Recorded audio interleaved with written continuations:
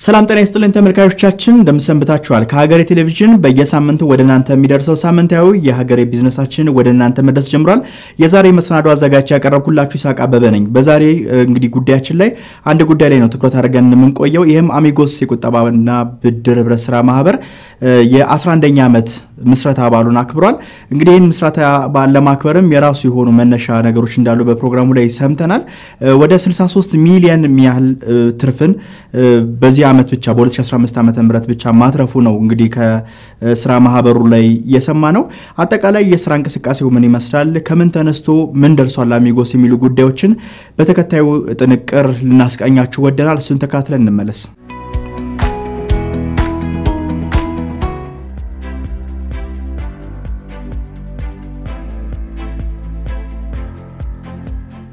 አሚጎስ የስፓኒሽ ቃል ነው። friends ወይም ጓደኛ ማቾች የሚል ትርጓሜ ይይዛል። ስለዚህ በሀያ ጓደኛ ማች ጓደኛ ማቾች በ2005 ዓ ም ከ11 ዓመት በፊት በ9 ሺህ ብር የመነሻ ካፒታል ተመስርቷል ማለት ነው። አሚጎስ እንግዲህ በ11 ዓመታት ከትንሽ ነው ከትንሽ ካፒታል ነው የጀመረው። ምናልባት ከ9 ሺህ ብር ካፒታል ከ20 አባላት ጀምሮ ነው አሁን ከ2 ቢሊዮን በላይ እንግዲህ በተመሰረተበት ጊዜ በ11 ዓመታት ውስጥ ከ5 ቢሊዮን ብር በላይ ብድር ለአባላቶች ያቅርበዋል ማለት ነው። እንግዲህ ይሄ ማለት ከ3 ሺህ የሚበልጡ አባላቶች በተለያየ ጊዜ ብድር እየወሰዱ የስራ እድልም እየፈጠሩ ቤተሰቦቻቸውን support እያደረጉ ምናልባትም ከዚሁ ወደ 70 percent የሚሆን በዚህ በመኪና ኢንዱስትሪ ወይ ትራንስፖርት ኢንዱስትሪ ራይድ፣ የታክሲ ከባስ ከእንደዚሁ ትልልቅ truck ኦች ከጅቡቲ ጋር የተገናኙ የትራንስፖርት ተበድረው ወደዛ የገቡ ብዙ አባላቶች አሉን ማለት ነው። ስለዚህ ዋናው ዓላማችን እንግዲህ ሰውን ማስቆጠብ ነው። ቁጠባ ደግሞ ኢንቨስትመንት ነው መልሰህ ስለምትበደረው። ስለዚህ በብድር መልክ revolve እናደርጋለን። ለጥቂት ልክ እንደ ባንክ አይነት ለጥቂት ሰዎች ሳይሆን የሚሰጠው ምናልባትም ለ small scale እንደዚህ middle income ላላቸው ሰዎች ስለሚሰጥ በመኪና level፣ በትንንሽ ቤቶች ኢንቨስትመንት፣ በንግድ መጀመሪያና ማስፋፊያ እንዲሁ በ production እንደዚህ በግብርና በከተማ ግብርና የመሳሰሉት ስራዎች ላይ በደንብ support ያደርጋል ማለት ነው አሚጎስ።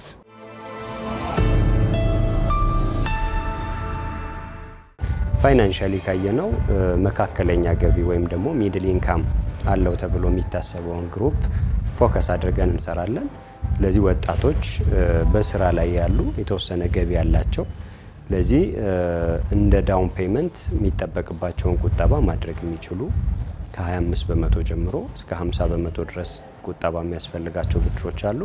ስለዚህ ያንን ማስቀመጥ የሚችሉ የወሰዱትን ብድር ደግሞ ጊዜውን ጠብቀው በትክክል መመለስ የሚችሉ capacity ው ያላቸው አባላትን target አድርጎ ይሰራል አሚጎስ። እንግዲህ በአጠቃላይ በ11 ዓመት ጊዜ ውስጥ ያፈራናቸው አባላትም ይሄ አሁን የገለጽነውን የሚመስሉ አባላት ናቸው ማለት ይቻላል። ወጣት ምናልባት ከ90 percent በላይ በወጣቶች የተገነባ ነው አሚጎስ። በሰራተኞቹም በአባላቶቹም ወጣቶች ናቸው። በገቢም ደረጃ ደግሞ ካየነው መካከለኛ የሚባል group ላይ target አድርገን እንደሚታወቀው ባለፈው በ2015 በጀት ዓመት ወደ 50.8 percent ወይም 52 percent አካባቢ dividend አከፋፍለዋል ትርፉ ማለት ነው። so ቀጣይ አሚጎስ ብዙ እቅዶች አሉት። አሁን ዋናው ምንድን ነው? ተደራሽ መሆን ነው የመጀመሪያው እቅድ። በክፍለ ከተማ ደረጃ ነው፣ በአዲስ አበባ በአራዳ ክፍለ ከተማ ነው ያለው። ስለዚህ ቀጣይ እንዲሰፋ ወደ ሌሎች ክፍለ ከተሞች እንዲሁም ወደ ክልሎች እንዲሄድ፣ ሌላ ደግሞ አሚጎስ ጥሩ የሆነ የቴክኖሎጂ እንትን አጠቃቀም አለው የፋይናንስም የምንም so በቀጣይ ደግሞ ወደ mobile application ወደ SMS እየገባ ብዙ እቅዶች አሉት። ዋና አላማው ግን ዋና እቅዱ ግን ምንድን ነው? አባላትን ጥሩ የብድር አማራጭ ማቅረብ ነው። በፍላጎቱ ወደ አሚጎስ ይመጣል። አንድ ሰው ከመጣ ሙሉ መረጃ ከወሰደ በኋላ ልክ ሲወስን መነሻ አክሲዮን አስር እጣዎች እያንዳንዳቸው አንዳንድ ሺህ ብር የሚይዙ አስር ሺህ ብር አክሲዮን ገዝቶ ይጀምራል ማለት ነው። በወር አንድ ሺህ ብር መደበኛ ቁጠባ ግዴታ አለ። ስለዚህ አንድ ሺህ ብር የመመዝገቢያ አድርጎ በዚህ እንደ መነሻ አባል መሆን ይችላል ማለት ነው። ወደ ቀጣይ ወደ ብድር ሲሄድ ደግሞ ከሚወስደው የብድር መጠን ጋር ተያያዥ የሆኑ ለብድሩ የሚቀመጡ ቁጠባዎች አሉ። ቅድም እንዳነሳ ነው ከ25 በመቶ ጀምሮ ቁጠባ ማድረግ ይጠበቅበታል። ስለዚህ በዚህ መንገድ የአሚጎስ አባል መሆን፣ አክሲዮን መግዛት፣ ብድር መበደር ይችላል ማለት ነው። የአሚጎስ አባላት ነኝ። ከአሚጎስ ጋርም ደግሞ ብዙ ጊዜ ሰርቻለሁ። አንድ አመት ከምናምን ይሆነኛል አሁን። ብድርም ወስጃለሁ። አሪፍ አክሲዮንም አለኝ። ብድርም ደግሞ በአጭር ጊዜ ነበር ያቀረቡልኝ 50 percent በመቆጠብ ሶስት ወር ቆጥቤ ነው በአጭር ጊዜ አሪፍ ብር ተበድሬያለው። ስራዬን ለማስፋፋት ነበር ዋና የተበደርኩት አላማ ስራዬን ለማስፋፋት ነው እና ያው በሚጠበቅብኝን እየከፈልኩኝ በየወሩ ብድሩን በአራት አመት እንድጨርስ አሁን ግማሽ ላይ ደርሻለሁ። እንግዲህ የ interest rate ከዘጠኝ በመቶ ይጀምራል። በስድስት ወር ለሚመለሱ ብድሮች ዘጠኝ በመቶ ነው። በአንድ አመት ለሚመለሱ ብድሮች 13 በመቶ ነው። በሁለት አመት ለሚመለሱ ብድሮች 14 በመቶ ነው። ከሶስት አመት በላይ እስከ 10 አመት ለሚመለሱ ብድሮች 15 በመቶ ነው።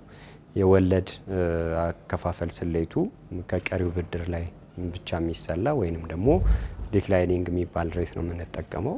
ለአባላት በጣም ምቹ በጣም ጥሩ የሚባል rate ነው። ብድርም ብቻ ሳይሆን ቁጠባውም culture አልነበረም። አሁን እኛ ስንጀምር ስንመሰረት አካባቢ ቁጠባው ራሱ በጣም በትግል ነው። ምክንያቱም ሰው ወይ ቤቱ ላይ ያስቀምጣል፣ ወይ ትራሱ ላይ ያስቀምጣል፣ ወይ somewhere ላይ በጣም traditional የሆነ ያቆጣጠብ በብዛት ደግሞ ባንኮች ላይ የመቆጠብ culture ነው የነበረውና እኛ ስንጀምር የተለያዩ micro finance ኦች በሰዓቱ ትዝ የሚለኝ እንግዲህ ወደ ሀያ ምናምን micro finance ኦች ነበሩ በወቅቱ። cooperative ኦች ደግሞ አዲስ አበባ ውስጥ እንደዚህ አሁን እንደበዙት አይነት አልነበረም። አሁን ግን ያለው culture relatively የቁጠባ culture ኡ በጣም አድገዋል። የብድሩም culture በጣም እንደውም ያኔ የተበደሩልን ብለን ስንጨቀጭቅ ነበር ነው። አሁን more በጣም የ demand high demand አለው ማለት ነው። credit demand ኡ በጣም ጨምረዋል። ብድሩን ከአሚጎስ ማግኘቴ የጠቀመኝ ጉዳይ manufacturing ላይ ነበር በደንብ የምንሰራው። አሁን እያስመጣን ነው። እቃ የቤተሰብ ስራ ነው። በዛ የተነሳ ለማስመጣት ብዙ ረድቶኛል። ብዙ በቃ ለስራችን የአልሙኒየም ስራ ነው የምንሰራው በደንብ የ finishing እና የአልሙኒየም ስራ ነው። SPC frameless መስታወት ነው እየሰራን ያለ ነው። የዛን ሰዓት ላይ ደግሞ የ frameless እጥረትም ስለነበረ እቃውን ለማስመጣት ለእኛ ብዙ ረድቶናል። እኔ ተቀጣሪ ነኝ። ምናልባት ብድሩን ወይም ሳገኝ የራሴ የሆነ ቢዝነስ እጀምራለሁ ወይም የሆነ asset ላይ ነው ማድረግ የምፈልገው። ግን of course ያስፈልጋል። በተለይ ስራ መስራት የሚፈልጉ በትንሽ ተነስተው ስራ መስራት የሚፈልጉ ሰዎች እንደዚህ አይነት አጋጣሚዎችን ቢጠቀሙ ጥሩ ነው ብዬ አስባለሁ። ይታደግበታል። የምናየውም ደግሞ አሁንም እየሰማን ነው ያለውን ነገር ከምንም ተነስተው ያደጉ ናቸው። እኛ ሀገር የ banking system ኡ ቢኖርም ብዙ ባንኮች ቢኖሩም ብዙ branch ቢኖራቸውም ግን ይሄ ብድር ማመቻቸት ለህብረተሰቡ በጣም መቅረብ የሚፈልገውን ነገር ማሟላት ላይ በጣም ችግር አለና የፋይናንስ አቅርቦትም ችግር ስላለ እንደዚህ አይነት እንደ አሚጎስ አይነት ማይክሮ ፋይናንሶች ለህዝቡ ለሰው በጣም ቅርብ ናቸው። ከጥቂት ደሞዝ ከሚያገኝ ሰው አንስቶ እስከ ትልቅ ደሞዝተኛ ድረስ መበደር ይችላል። ቤት፣ መኪና ህልሙን ማሳካት የሚችልባቸው ናቸው እና ቁጠባም የቁጠባ ባህልን የሚያዳብርበት ቦታዎች ናቸው እና ብዙ መጠቀም የሚችልበት ቦታ ነው። ስራ መስራት፣ ስራ ፈጠራንም፣ ክህሎትንም ብዙ ነገሮችን ብታዳብርበት ነው። መማር ብትፈልግ፣ መስራት ብትፈልግ፣ የተለያዩ ነገሮች ብታስብ እነዚህ ማይክሮ ፋይናንሶች ጥሩ የፋይናንስም የምክርም የተለያዩ አገልግሎቶች ስለሚሰጡ ለህብረተሰቡ ፈጣን የሆነ ቶሎ የምትለው አሁን አሚጎስ በሶስት ወር ምናምን እንደዚህ በሁለት ወር ውስጥ ትልቅም ከትንሽ እንደ አቅም ከትንሽ እስከ ትልቅ ብድሮችን ያመቻችላል። ስለዚህ ይሄ ፈጣን ለትምህርትም ለስራም የሚሆን የፋይናንስ ብድር የሚያመቻቹ ተቋማት ስለሆኑ ቁጠባህንም ባህልን የሚጨምሩ ስለሆኑ ትልቅ ጠቀሜታ አላቸው ብዬ አስባለሁ።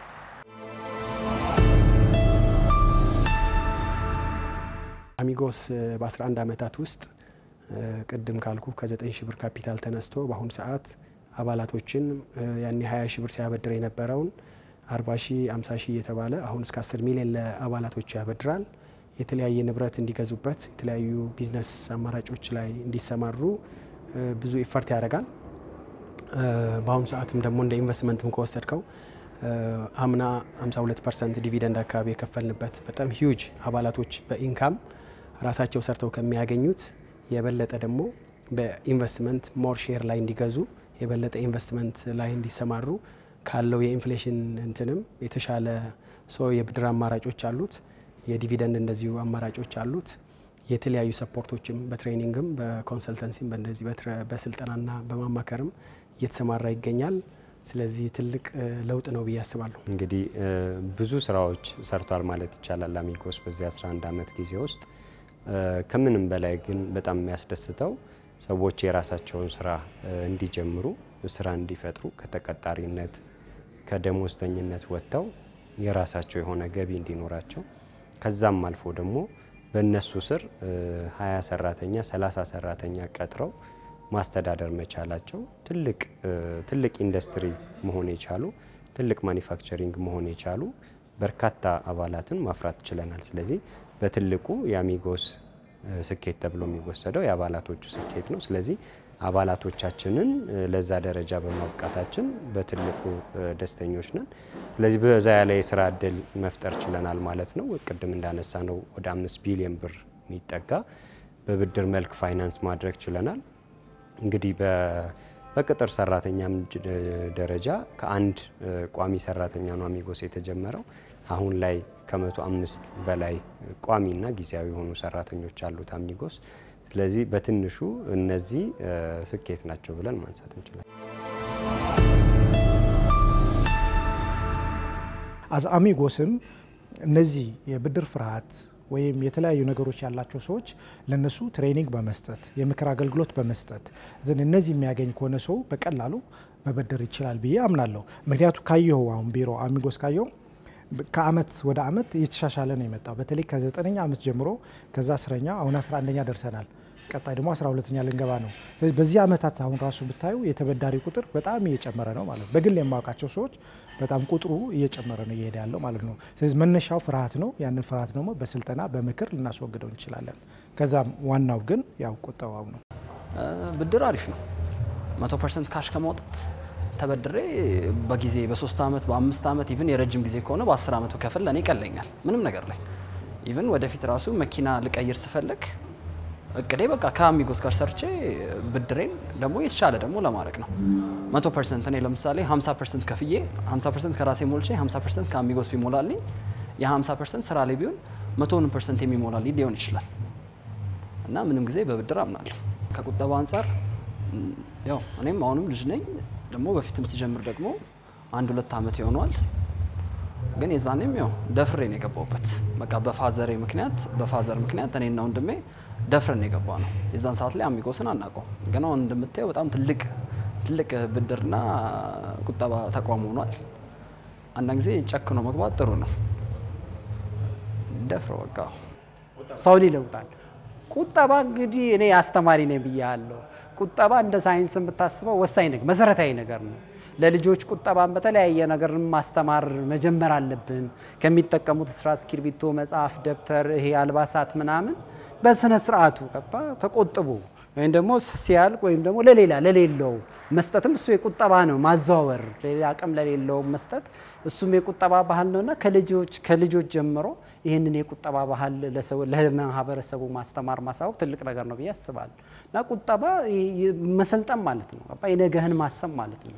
ዝም ብሎ እንዝህላል አለመሆን ወጪ ገቢህን በደንብ አድርገህ ደምረህ ቀንሰህ ለነገ የምትፈልገው ነገር የሚያደርስ ነው። በቃ መሰረታዊ ሰው ሊያደርገው የሚገባው ነገር ቁጠባ ነው። እንደ ማይክሮ ፋይናንሶች ጋር ደግሞ ይህንን ነገር በደንብ ያመቻቹልሃል። እንድትቆጥብ ኮሚትድ እንድትሆን በወር ይጠበቅብሃል፣ ታስገባል። ሁለት ሶስት ቦታ ሰው ቢኖረው እንደዚህ አይነት ቁጠባ ባንክም ሊቆጥብ ይችላልና መሰረታዊ ነው። ነገ የሆነ ነገር ቢመጣ ምን የምትቸገረው የምትሳቀቅበት ሁኔታ ስለሌለ ቁጠባ በጣም መሰረታዊና ጠቃሚ ነው። ሰዎች በደንብ ሊያውቁት ይገባል እላል።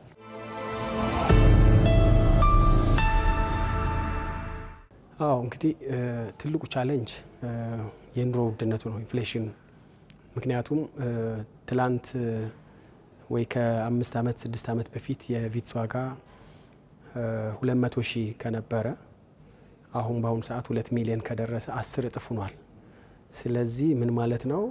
በዛው ልክ ልክ የተቋሙም የ liquidity capacity በዛው ልክ አስር እጥፍ መሆን አለበት ማለት ነው። ስለዚህ ህዝቡ ጋር ደግሞ በ inflation በኑሮ ውድነት ምክንያት time to time ከጊዜ ጊዜ እየቀነሰ ምናልባት እየተዳከመ ያለበት ሁኔታ ስለሆነ ሰው ካልቆጠበ በኑሮ ውድነቱና መሰል ችግሮች ስለዚህ liquidity ችግር ይኖራል፣ የገንዘብ እጥረት ይኖራል። ይሄም ማለት እንግዲህ አንድ ባንክ እንኳን ብትወስድ በፊት አምስት መቶ ሚሊዮን paid up capital ተደርጎ ይመሰረት ነበር። አሁን አራት እጥፍ ሆኖ ሊሆን ይችላል። inflation ኑ ግን ከዛ በላይ አስር እጥፍና ከዛ በላይ ከሄደ ስለዚህ ባንኮቹም ሁለት ቢሊዮን አራት ቢሊዮን ቢኖራቸው ምንም surprise አያረግም ማለት ነው። ስለዚህ more ገንዘብ አቅም ይፈልጋል። so እንግዲህ ከመንግስትም ከተቻለ እንደዚህ አይነት ሴክተሮች እንደ cooperative እና microfinance sector ኦች በደንብ support ቢያገኙ የበለጠ ሊነቃቁ ይችላሉ ብዬ አስባለሁ። የህብረት ስራ ማህበራት አዋጆች ሊፈተሹ ይገባቸዋል የሚል አለኝ። ለምሳሌ as አሚጎስ አዲስ አበባ ብቻ አራዳ ብቻ ነው መክፈት የሚችለው። አሚጎስ የካ ሂዶ መገናኛ branch መክፈት አይችልም፣ ወይ ቦሌ ሂዶ branch መክፈት አይችልም። እነዚህ የተወሰኑ አዋጆች ማሻሻያ ቢደረጉ፣ እንደገና ደግሞ ራሱ የቻለ cooperative bank ቢኖር፣ ለምሳሌ አሁን የቤቶች የምናምን እያለን እንጀምራለን። cooperative ባንክ ቢኖር ደግሞ የህብረት ስራ ማህበራት ባንክ ቢኖር ደግሞ ህብረት ስራ ማህበራት ያላቸው የገንዘብ እንትን ሊደጉም ይችላል ማለት ነው። በቀላል ሊያገኙ ይችላሉ። ከዛ ደግሞ ህብረት ስራ ማህበራት ሆኖ ሴቶች ላይ ወጣቶች ላይ በጣም መስራት ይኖርባቸዋል። በተጨማሪ ደግሞ አሁን ሌላ አገር ኬንያም ሌላ ሀገርም ብናይ ህብረት ስራ ማህበራት ሆኖ በ NGO ይደገፋሉ። እኛ ሀገር ግን ይህንን አልተለመደም። ስለዚህ maybe የ world የህብረት ስራ ማህበራት alliance የሚባል አለ። እሱ ላይ involve ብናደረግ እንደ መንግስት involve ቢያደረግ እዛ ስለዚህ እዚህ ጋር ያሉ ኢትዮጵያ ውስጥ ያሉ ህብረት ስራ ማህበራት በቀላሉ ፈንድ የሚያገኙበት መንገድ ሊመቻች ይችላል። እንደገና ደግሞ መንግስት ደግሞ በተጨማሪ ለህብረት ስራ ማህበራት ብድር ቢሰጥ ብዙ amount ቢሰጥ፣ ስለዚህ ህብረት ስራ ማህበራት ደግሞ በቀላሉ ለወጣቱም ይሁን ለሴቶችም ይሁን ለማንኛው ሰው ተደራሽ ይሆናሉ ማለት ነው። so ገንዘቡም በቀላል ይመልሳሉ። ለመንግስት ደግሞ በቀላል የሚመልስበት መንገድ ሊመቻች ይችላል። እንግዲህ አሚጎስ 11ኛ አመቱ ላይ ነው የሚገኘው። አሁን ሁለት strategic እቅዶች አምስት አመት የያዙ በትክክል successfully አጠናቀን የሶስተኛ strategic እቅዳችንን ጀምረናል ማለት ነው ዘንድሮ። ስለዚህ እስከ 2028 ድረስ የሚቆይ strategic እቅድ ነው። በዚህ አምስት አመት ጊዜ ውስጥ እንግዲህ ቅድም እንዳነሳ ነው ሰፋ ያለ ህብረተሰብን ማገዝ የሚችል በብራንችም በተለያዩ ኤሪያዎችም ተንቀሳቅሰን መስራት ችለን በርከት ያሉ ሰዎችን ከመቶ ሺህ በላይ የሚደርሱ አባላትን ማፍራት እንዲሁም ደግሞ ተበዳሪዎችንም በዛው ልክ ከፍ አድርገን ከ20 ሺህ በላይ የሚሆኑ ተበዳሪዎችን ማፍራት እናስባለን። አጠቃላይ በብድር ስርጭት ደግሞ ወደ 12 ቢሊዮን ብር የሚጠጋ የሚሆን ገንዘብ ፋይናንስ ለማድረግ እቅድ ይዘናል ማለት ነው።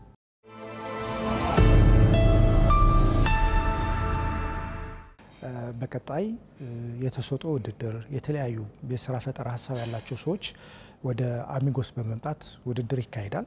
ስለዚህ በውድድሩ ደግሞ የተሻለ የቢዝነስ አማራጭ ያመጡ ወጣቶች እንዲበደሩ ይደረጋል። ሌላ ደግሞ አሚጎስ ከትንሽ ጀምሮ ማበደር ይችላል። actually ለድሃም፣ ለመካከለኛ ገቢ ላለውም፣ ለባለሀብቱም ለሁሉም የሚያገለግል ነው። አቅም ያለው እስከ መጨረሻ ጣሪያው ድረስ መበደር ይችላል። አቅም የሌለው 50 ሺህ መበደር ይችላል፣ 40 ሺህ መበደር ይችላል፣ 100 ሺህ መበደር ይችላል። ስለዚህ ለነሱም ዋናው ምንድን ነው መነሻ ቁጠባ ቢኖር ነው። አሁን እንደምታውቀው አሚጎስ ከአባላት ነው ገንዘብ የሚያገኘው ከአዲስ አባላት እንደገና ተጨማሪ ብድር ያበደረው ብድር አለ። ያንን ብድር ደግሞ በየወሩ ይሰበስባል። ስለዚህ ያንን የሰበሰበው ብድር ነው ለአባላት መልሶ የሚሰጠው ማለት ነው። ስለዚህ በፈንድ መልክ በሌላ መልክ መንግስት ድጋፍ የሚያደርግ ከሆነ ወይ ሌሎች እንደ ሌላ አገር እንደሚደረገው NGO ዎች support የሚያደርጉ ከሆነ የበለጠ ሌላ የብድር አማራጭ ሊያመጣ ይችላል ማለት ነው።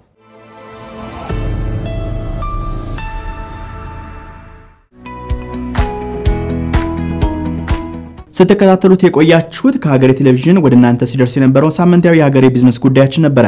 ሀገሬ ቢዝነስ በምጣኔ ሀብት ጉዳዮች፣ በስራ እድል ፈጠራ ላይ የተለያዩ ሀሳቦችን እያነሳ ወደ እናንተ የሚደርስ ሳምንታዊ ፕሮግራማችን ነው። ይህም ፕሮግራም በአጋርነት አብረን መስራት እንፈልጋለን የምትሉ ተቋማት አገኙን። ይሳቅ አበበ የዛሬ ፕሮግራሞችን አሰናድቼ ወደ እናንተ አቀረብኩኝ። ከመሰናበቴ በፊት ግን የዕለቱን የውጭ ምንዛሬ መረጃዎች እንዲሁም ደግሞ ኢትዮጵያ ምርት ገበያ መረጃዎችን ወደ እናንተ አደርሳለሁ። ሳምንት በሌሎች መሰናዶች እንገናኛለን። ቸር ሰንብቱ።